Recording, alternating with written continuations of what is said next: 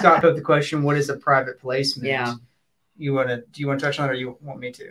Go ahead.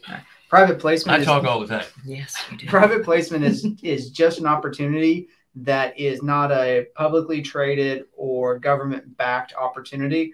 Um, it would be like uh, our fund is a private placement. It is an opportunity to invest your money into a privately held, um, what would you say? I guess privately held, not Fund. syndication, but fund. Yeah. Um, so that's all that is. It's a privately held investment. yeah, private. That's that's the word for. Thank you. There, there's a lot of companies, and and, there, and this is where you're getting a, a, lot of pushback from. Uh, I forget what the heck they're called now, but there are these groups of funds that will go in and instead of offering an, an IPO, Mhm. uh, they'll go in and fund these these these companies.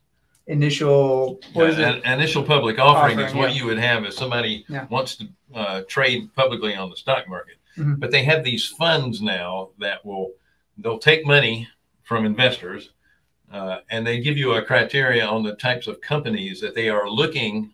to invest fund. in. Mhm. Uh, they don't have it yet.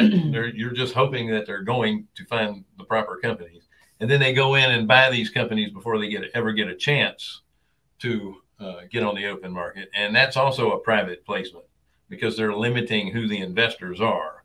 Um, the the thing that the the reason it's called a private placement, and you have uh, you have to be you have to qualify to get in them Mhm. is because the SEC wants to make sure that your financial two things your financial knowledge uh, is great enough that uh, you know what you're doing Because the you government know what knows you're better. getting into and then number two if your financial knowledge isn't that great because what one of the uh, certifications is you have to have a million dollars in net Mhm. worth not counting your primary residence Mhm. is that you're not losing your last dime in this investment Right. that you can afford to lose money if you don't have the financial wherewithal Right. to understand the investment that you're getting in.